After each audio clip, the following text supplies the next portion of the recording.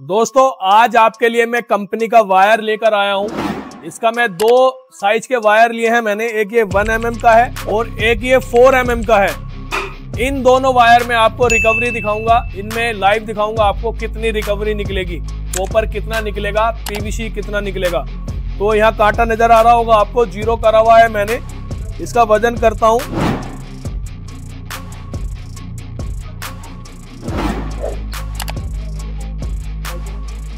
इनका मैंने वज़न करा है 100-100 ग्राम मैंने लिए हैं। 100 ग्राम को हम एक किलो पकड़ लेते हैं। अब इसको छील कर दिखाऊँगा, इसमें क्या निकलने वाला है।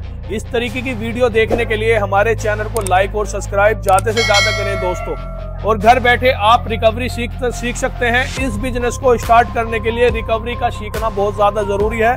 तो इसलिए हमारे चैनल को ज़्यादा से ज़्यादा फॉलो करें दोस्तों। अब इस माल को मैं लेकर जाने वाला हूँ अपनी मशीन पे, जो हम मशीनें मैन्युफैक्चरिंग करते हैं। कैश ऑन डिलीवरी मेरी मशीनें हमेशा अवेलेबल रहती हैं। तो इस माल को निकाल कर दिखाऊँगा अपने बी पंद्रह प्रो मॉडल पर। चलते हैं मशीन के पास। ये मशीन के पास हम आ चुके हैं। इस मॉडल का मैं नाम बता देता हूँ। मेरा बी पंद्रह प्रो मॉडल है मेरा ये। वन एम से लेकर चालीस एम तक काम करता है। वन से आठ एम सिंगल कट काम करेगा। और 10 एम mm से लेकर 40 एम mm तक डबल कट पे काम करेगा। दो एच का मोटर होता है इसमें करमटन का।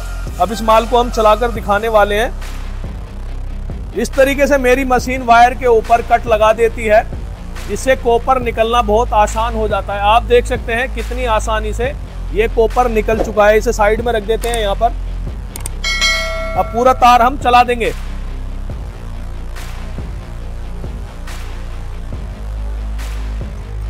ये देखो दोस्तों, कितनी आसानी से मेरी मशीन ने इसके अंदर से कॉपर निकाल दिया है।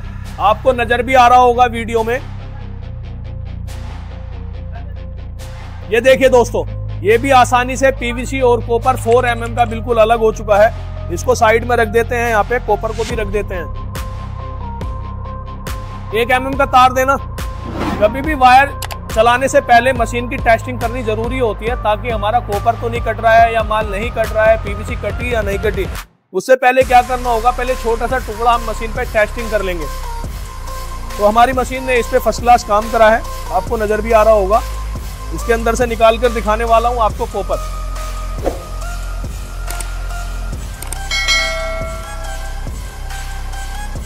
ये देखिए, एकदम फ़र्स्ट क्लास निकल चुका है। इसे साइड कर देते हैं। अब ये जो हमने 100 ग्राम लिया हुआ है, इसको छील कर दिखाएँगे आपको। इसके अंदर से कितना माल निकलेगा। इस एक एम वाले को हम साइड कर देते हैं। इसका वज़न तोल कर दिखाता हूँ मैं आपको, इसमें कितना निकलेगा। लगभग 29 ग्राम हमारा पीवीसी निकला है इसके अंदर। कोपर तोलते हैं। लगभग तिहत्तर ग्राम हमारा कोपर निकला है। तो लगभग आपका जो पीवीसी जाएगा 25 परसेंट की पीवीसी होगी 250 ग्राम पीवीसी जाएगी आपकी। और लगभग पिछहत्तर परसेंट हमारा जो जाएगा कोपर जाएगा। लगभग साढ़े सात सौ ग्राम हमारा एक किलो में कोपर निकलेगा और 250 ग्राम हमारा पीवीसी निकलेगा कंपनी के तार में।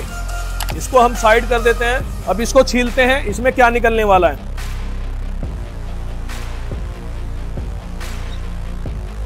लगभग 46 ग्राम इसमें हमारी पीवीसी निकली है। अब कॉपर बता देता हूँ आपको इसमें कितना निकला है। अड़तालीस ग्राम हमारा इसमें कॉपर निकला है। अब दोनों का साथ में वज़न कर देता हूँ मैं। लगभग पिचानवे ग्राम, चार पाँच ग्राम कम हो गया मशीन में कटने की वजह से। अब इसकी रिकवरी बता देता हूँ आपको। लगभग 48 ग्राम, यानी कि 480 ग्राम। 480 ग्राम हमारा इसमें कॉपर निकला है। 50 परसेंट की रिकवरी हम एक एम में मान लेते हैं। आधा किलो हमारा पीवीसी जाएगा और आधा किलो हमारा कॉपर जाएगा। इस बिज़नेस को स्टार्ट करने के लिए रिकवरी का जानना बहुत ज़्यादा ज़रूरी होता है। मशीन परचेज करने से पहले इस बिज़नेस का जो रिकवरी है, जो रिकवरी फॉर्मूला है, उसको जानना बहुत ज़्यादा ज़रूरी है। इसलिए हमारे वीडियो को ज़्यादा से ज़्यादा देखें वीडियो स्किप करके ना देखें। बहुत अच्छी तरीके से रिकवरी सीखे। घर बैठे आप रिकवरी सीख सकते हैं। इस इस बार मैंने जो माल दिखाया, आपको कंपनी का माल दिखाया, अगली वीडियो में मैं आपको लिए लोकल जो बिल्कुल लोकल थर्ड क्लास का जो माल होता है, वो माल पे रिकवरी चेक कराने वाला हूँ, दिखाने वाला हूँ। इसलिए हमारे चैनल को ज़्यादा से ज़्यादा फॉलो करें दोस्तों। धन्यवाद दोस्तों।